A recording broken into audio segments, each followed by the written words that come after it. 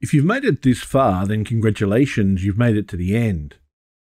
This video is the last in a series about the SAP 6502 hardware, which is based on the SAP one from Albert Paul Malvino, but which was popularized by Ben Eater in his excellent YouTube series.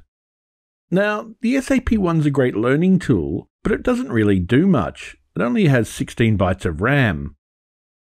I wanted to show in this series that with some modifications, we could make it execute 6502 machine code and potentially tap into the huge software library for the Apple II computer.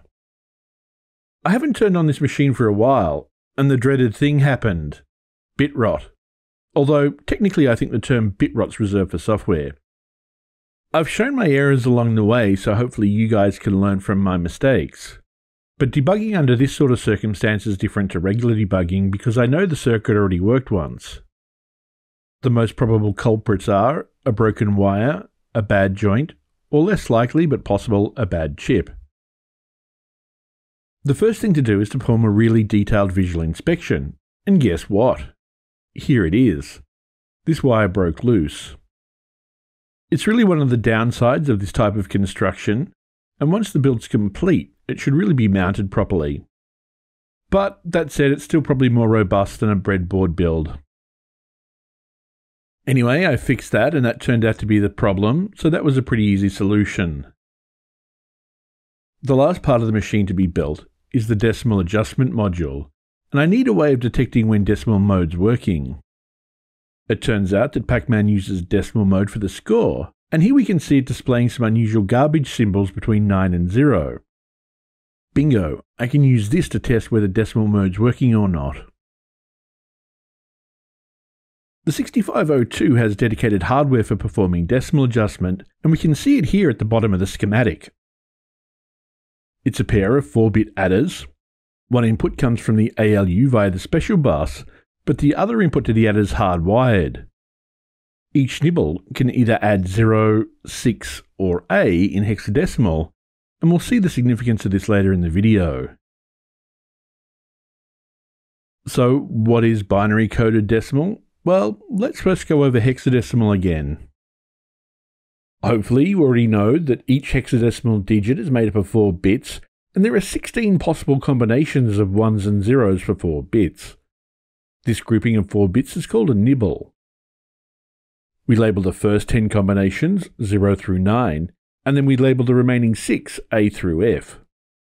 A single byte, or 8 bits, can take values from 00 to FF which is the equivalent of 0 to 255 in decimal. In C++, we use this 0x in front of the string to indicate that it's a hexadecimal number, and I've carried over this convention here. The number displayed up the top is 17, or 17 in hexadecimal, which actually turns out to be 23 in decimal. In binary coded decimal, we still deal with 4 bit chunks at a time like we do with hexadecimal, but only the first 10 combinations of the bit patterns are valid. These take on the values 0 through 9, and the other combinations are considered to be invalid. In binary coded decimal, a byte can take a number between 0 and 99. The number here is 17, which is just plain old 17. There are only two instructions that actually make adjustments for binary coded decimal. These are add with carry and subtract with carry, and there are two instructions for setting and clearing the decimal bit. We need to handle binary coded decimal differently for addition and subtraction. I'm going to go ahead and look at subtraction first because it's actually a bit easier. If we subtract 1 from 0, then the result is minus 1, which is FF in hexadecimal from the adder. In binary coded decimal mode though, we really want this number to be 99, not FF. When we subtract 1 from the number 2, we get the answer 1, which is correct, and so we don't want our decimal adjustment hardware to do anything in this case. To change this FF to a 99, we first look at the bottom nibble, which is F, or 15 in decimal in this case, and decide whether we need to subtract 6 from this number to bring it back down to 9. It turns out we can use carry between bits 3 and 4, which is also called half carry, to decide whether or not to do this. If half carry is clear, it means we've wrapped around this digit and the result will be in the range of 6 to 15, Therefore, we need to subtract 6 to bring it back to the range of 0 to 9, which is what we want. One way to subtract 6 is actually to add a but to ignore the carry out from the decimal adjust addition. In the second case on the right, where half carry is set, we don't actually want to do anything because the number's already in the correct range for binary coded decimal. We can do exactly the same for the top nibble when carry is clear. It'll bring this f back to a 9, and again we ignore the carry out from the decimal adjustment addition. When carry is set from the main ALU subtraction, we just add 0. This explains the hard wiring of either 0 or A in each nibble of the decimal adjust unit in the 6502 design. I add AA while blocking carry outputs from the decimal adjustment additions, and I get the result of 99, which is what I want. On the right, I add 0, so the number from the subtraction in the ALU remains the same.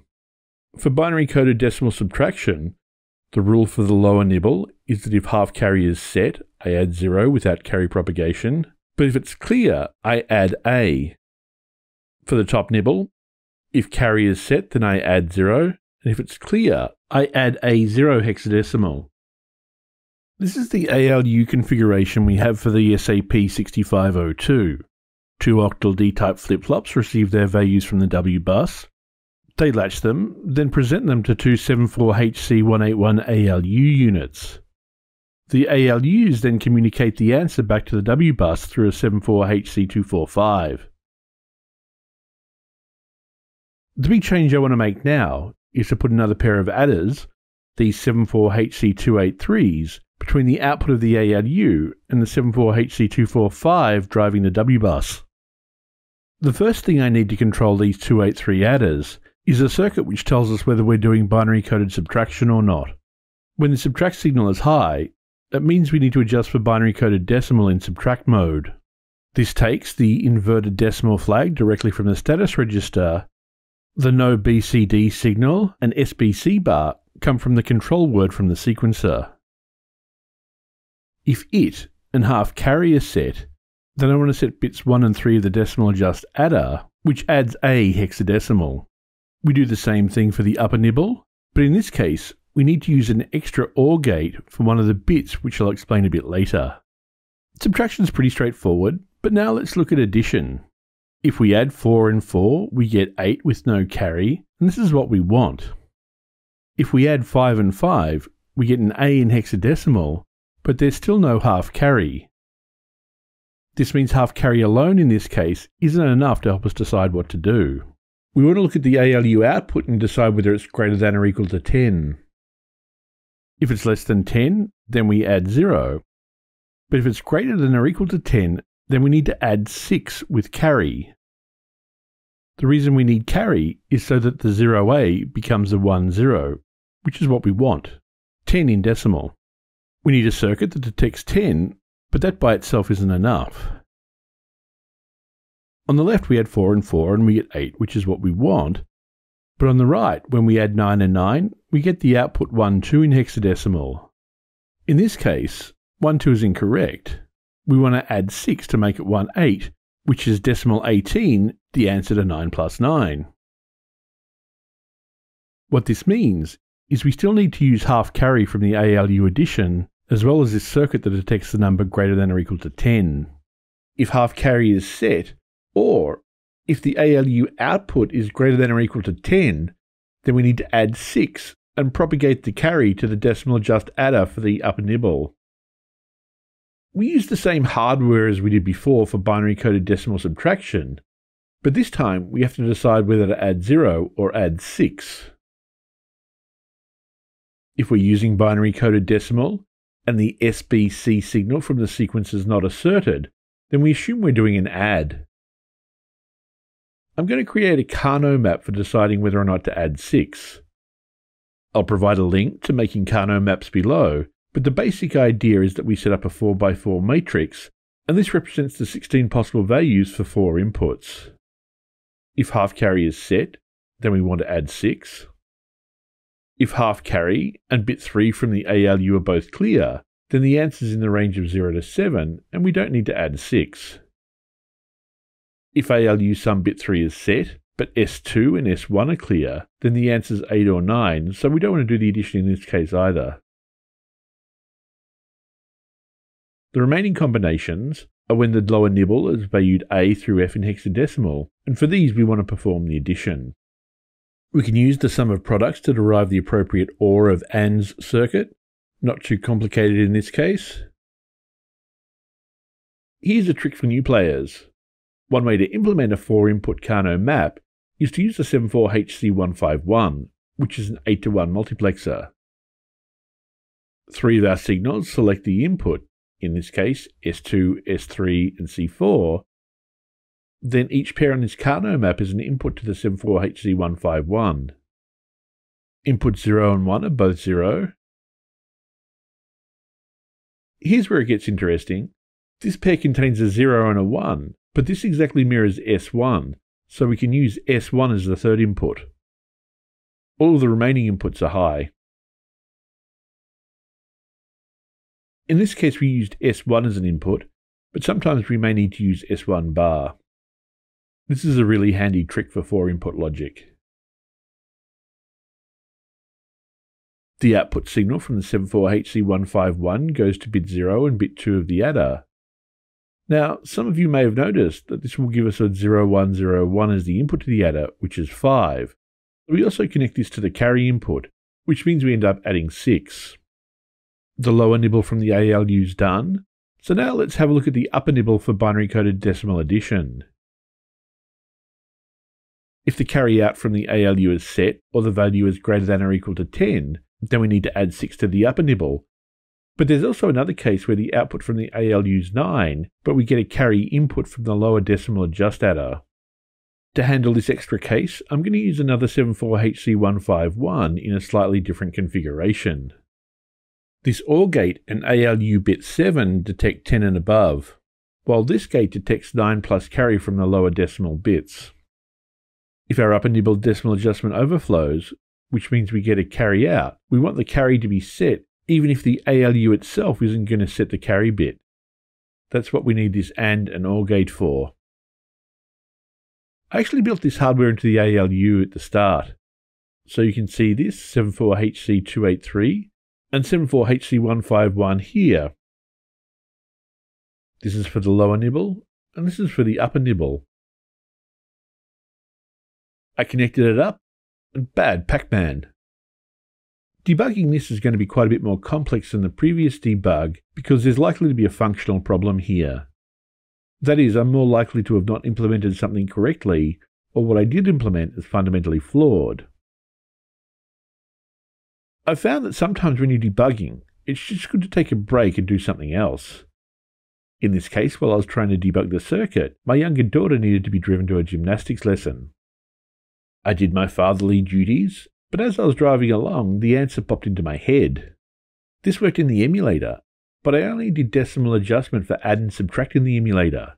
The other ALU operations wouldn't even check the no BCD signal, but the real hardware will still do a binary coded decimal adjustment for other operations like AND, OR, and XOR. I went through the microcode and made sure that every instance of the ALU operation had no BCD asserted except for the add and subtract where I wanted them. I was able to get away with only reburning one of the EPROMs. I really don't like cycling the chips in and out of the sockets too many times. There are a lot more of these than I thought there were. And here's the big test. Will we go from 90 to 100? Or will it go from 90 to some unusual character like the one we saw before? And there we have it. 90 went to 100. 190 goes to 200. 290 goes to 300. I'm liking this. Sorry for the glare, by the way. Unfortunately, Pac-Man doesn't use subtraction in decimal mode, so I'll have to find another way to test this a bit later. Now, our SAP 6502 design has all of the features of the 6502, it's just running a bit slower. I think I'll wrap up this playlist here. Here's a sneak peek of where to from here. I'm starting a new playlist called TTL Apple II, where I start to move the design of the SAP 6502 to printed circuit boards and add a video circuit. I'll make all the Gerbers for the printed circuit boards available, and if there's enough interest, I may look at putting a kit together at some stage. At the start, I said I wanted to muscle up the SAP1 design, and I used the images of the Ultimate Warrior, Jesse the Body Ventura, and Arnold Schwarzenegger. So I thought I'd finish up with some words from Arnold for those interested in building their own CPU but can't quite pull the trigger. You see, if you don't have a vision of where you go and if you don't have a goal where you go, you drift around and you never end up anywhere. We all fail. It's okay.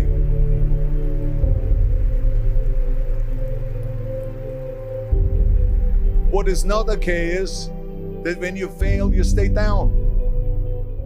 And winners will fail and get up, fail and get up, fail and get up. You always get up.